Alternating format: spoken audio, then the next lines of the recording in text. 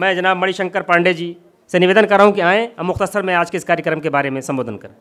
तालियों के साथ स्वागत। आज के इस समारोह में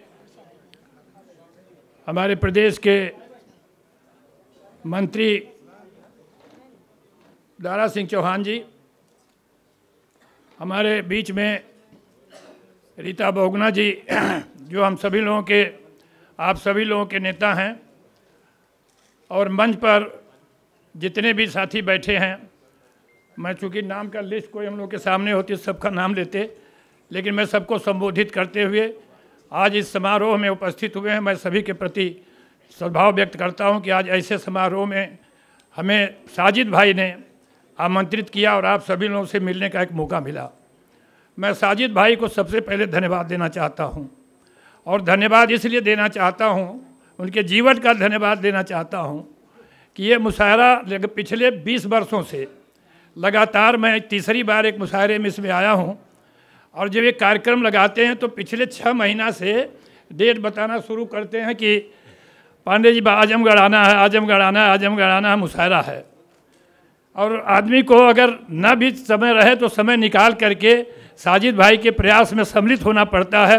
इसलिए मैं उनके साहस को दाद देता हूँ और इतना लीन हो करके जिस तरह से बहुगुना जी के लिए और कमला बहुगुना जी के लिए ये मुशायरा का प्रोग्राम करते हैं और हम सभी लोगों को आमंत्रित करते हैं और यहाँ इकट्ठे होते हैं तो आप सभी लोगों से मिलने का एक अवसर मिलता है। मैं इसी ज़िले का रहने वाला हूँ।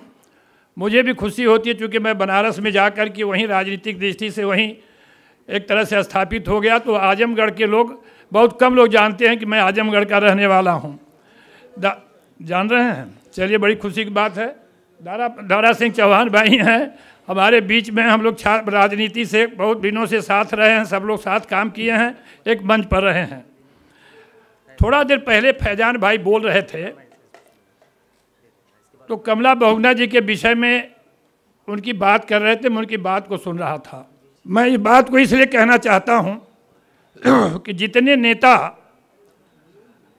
राष्ट्रीय आंदोलन से निकल करके काम कर रहे थे उनके पत्नियों के विषय में भी मैं इसलिए कहना चाहता हूँ कि पुरुष नेता के साथ मतलब नेताओं के साथ पत्नियाँ भी उस संघर्ष में जिस तरह से हाथ उनके साथ खड़ी होकर के स्वतंत्रता संग्राम के आंदोलन से लगायत और जब तक वो ज़िंदा रही हैं, तब तक अपने पति के साथ खड़े होकर के जिस तरह से समय का, कामों का निर्वहन किया है, मैं समझता हूँ कि उस समय के नेताओं के पतियों का योगदान को भी हमको सराहना करनी चाहिए और कमला नेहरू, अरे कमला बहुगुना जी का मैं उसी देश, उसी ख्याल से उनको याद करता हूँ कि वो बहुगुना जी के साथ रह करके उनके काम में हाथ बटाना, स्वतंत्रता संग्राम में भाग लेना बानरी सेना में भाग लेना, फिर संसद तक पहुँचना, ये एक बहुत बड़ा कर्मठ कर्मठ किसी नारी का काम है।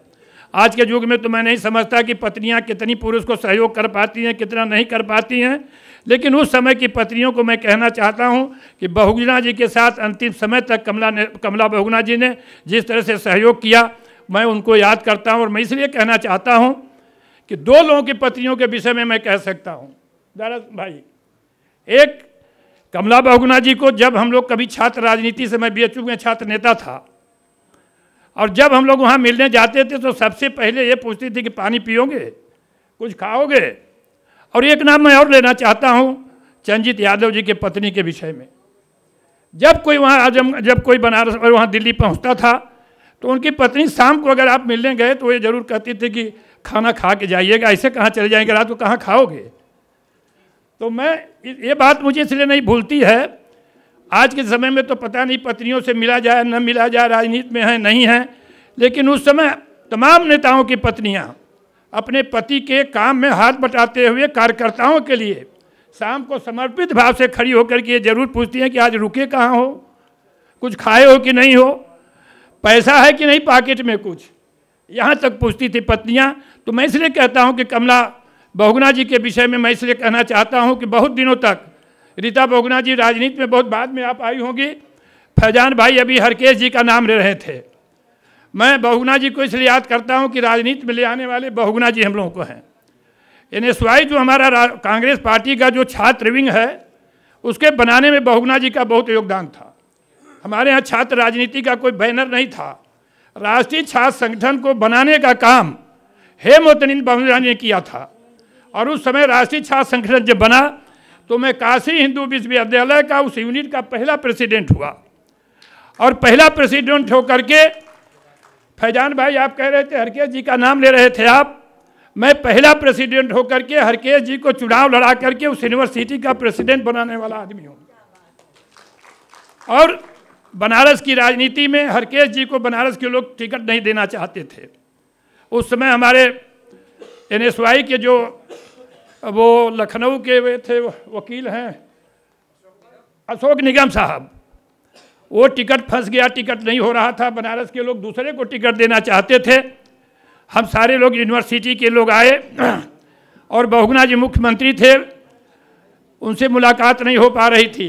रीता जी, दो पीए थे जो बहुगुना जी के, इतना पॉपुलर पीए थे, इतना पॉपुलर पीए थे। तो बहुगुना जी मुख्यमंत्री थे, हम लोग को समय नहीं मिला। मैं कमला बहुगुना जी से हम लोग मिला हमारा एक डेलीगेशन और उनसे कहा कि माता जी हम चाहते हैं कि हरकेश बहादुर को यहाँ से टिकट दिया जाए और चुनाव लड़ाया जाए। क्योंकि आईटी के विद्यार्थी हैं आईटी डब्ल्यूसी या मेडिकल कॉलेज के तीनों लड़कों का एक तरह की सोच होती है, अगर हरकेश जी को टिकट दिया जाएगा तो वो बीएचयू के प्रेसिडेंट हो जाएँगे। शाम को कमला बहुगुना जी ने हमको मिलवाया। बहुगुना जी से कहा कि तुमको समझ दिलाते हैं तो इनसे बात करो। हरकेश जी को टिकट मिला। पहला हरकेश बहादुर काशी हिंदू विश्वविद्यालय के प्रेसिडेंट चुने गए और उस चुनाव में बहुगुना जी ने बीस हज़ार रुपया भेजा। चुनाव लड़ने के लिए उस यूनियन का। और उसमें से भी हम लोग के पास तीन हज़ार रुपया बच गया था हम और हरकेश उसको फेरने गए थे। तो बहुगुना जी ने कहा कि, अरे तुम लोग तीन हज़ार फेरने के आए उसको ले जाओ, दस हज़ार और ले जाओ, हम लोग की तरफ़ तुम लोग जीत के आए हो। पत्थर पे धूप जमी है हिंद, काशी हिंदू विश्वविद्यालय में। और वहीं से मैं कहना चाहता हूँ कि छात्र राजनीति का दिशा मुड़ गया। समाजवादी के लोग उस जमाने में छात्र संघों में यूनिवर्सिटी के माध्यम से राजनारायण जी का वो जमाना था प्रमरान सिंह का जमाना था, लोहिया जी का जमाना था। हमारे यूनिवर्सिटी में मजुमदार और तमाम लोग नेता होते थे। छात्र विंग के मुकाबले में, उन लोग के मुकाबले में बहुगुणा जी ने छात्रों को सब जगह खड़ा किया एन का गठन कराया। और उन्होंने उसको किया। और मैं इसीलिए इस बात को कोट कर रहा हूँ कमला बहुगुणा जी के विषय में कि उस समय सारे छात्रों के जितने लोग भी जाते थे, सबको मदद करती थी। आज उनको अगर हम नमन कर रहे हैं, उनके सौ साल पूरा होने पर तो हम समझते हैं कि वो उसके पात्र नहीं हैं, बल्कि जितनी उनकी प्रशंसा करिए। लंबे समय तक उनके जब घर जाते थे, चाहे इलाहाबाद जाते थे, वहाँ जाते थे, शेखर बहुना जी बाद में जाके मिले हुए, हम लोगों के साथ वो भी काम करते थे। तो सारे लोगों का जो कंट्रीब्यूशन है, भारतीय राजनीति के लिए, उत्तर प्रदेश की राजनीति के लिए और काम के लिए, मैं समझता हूँ कि पंडित कमलापति त्रिपाठी के बाद उत्तर प्रदेश में अगर ये सिंचाई के जितने भी तंत्र देख रहे हैं आप, वो बहुगुना जी का सबसे बड़ा उसमें योगदान था और उनके पत्नी का, जिसके विषय हमको चर्चा करनी चाहिए, और लोग उससे चर्चा चूँकि बहुत कर रहे हैं तो इसलिए मैं उसको जोड़ते इस बात को कहना चाहता हूँ, कर, सब कर रहा हूँ। साजिद भाई को मैं धन्यवाद देना चाहता हूँ कि ऐसे अवसर पर हम सभी लोगों को बुलाते हैं, बुला करके हम लोग के मुशायरा सुनने का मैं समझता हूँ कि आजमगढ़ में जो मुशायरा होता है, बहुत कम जगहों पर इधर पूर्वांचल में होता है, बनारस में कभी बेनिया बाग में होता रहता था, लेकिन अब तो भी लगता है कि बंद हो गया है। तो ये भी एक अवसर मिलता है इन्हीं शब्दों के साथ।